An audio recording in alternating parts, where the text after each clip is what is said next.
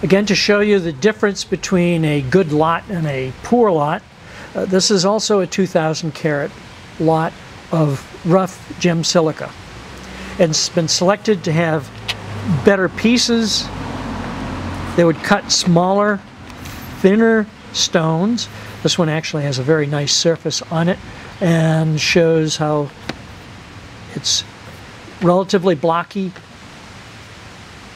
and you can get uh, some deep cut material out of it.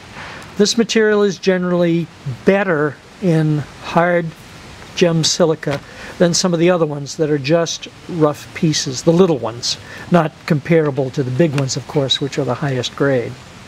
But if you're going to be cutting for small pieces of jewelry, these would be a better selection than some of the other ones we'll be showing you. But this is a fairly good lot, about 2,000 carats, and when you're out at a show, at a mineral dealers and your gem dealers and trying to select gem silica, you want to know what it looks like. We'll show you what these look like in water as well as the big pieces.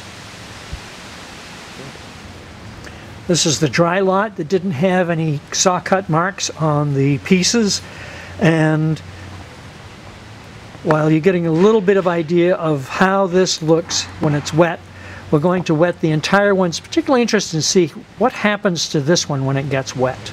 We'll keep it aside and put that down separately. This material has become all intense blue. This particular one we're going to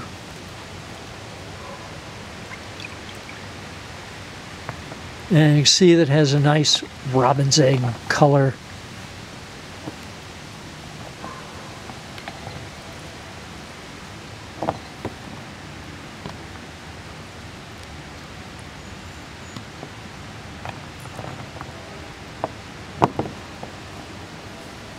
Immersing in water is a very important technique when you're inspecting